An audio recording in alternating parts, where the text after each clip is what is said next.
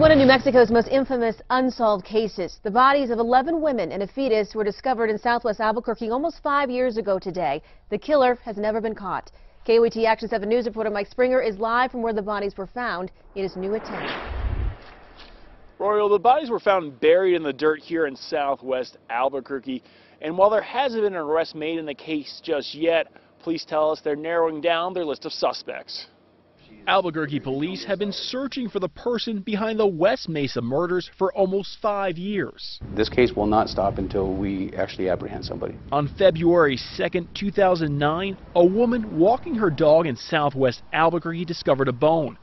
It led to the uncovering of the bodies of 11 women and one fetus buried near 118th Street in southwest Albuquerque.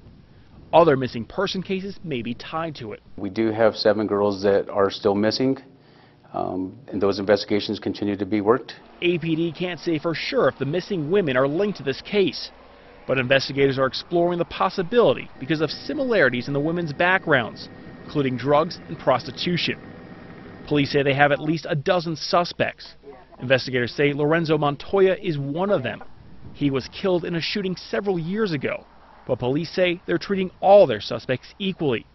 However, they do not want to release the names of the other people on the list because it could compromise the investigation. Our suspect pool is it's, it's pretty solid. APD says it continues to get tips on the case weekly.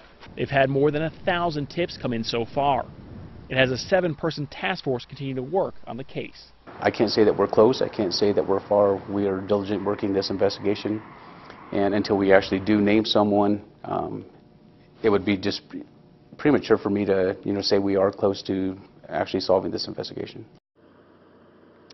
And the families tell us the one thing they want to see done here at this site is to have a memorial built for the victims. It's something that's been talked about for a while now, but it's unclear when that may happen. Reporting in Southeast, Southwest Albuquerque, Mike Springer, KOAT Action 7 News. APD tells us they met with most of the victims' families this week to talk about the case. They say they plan to have more meetings like that as the investigation progresses.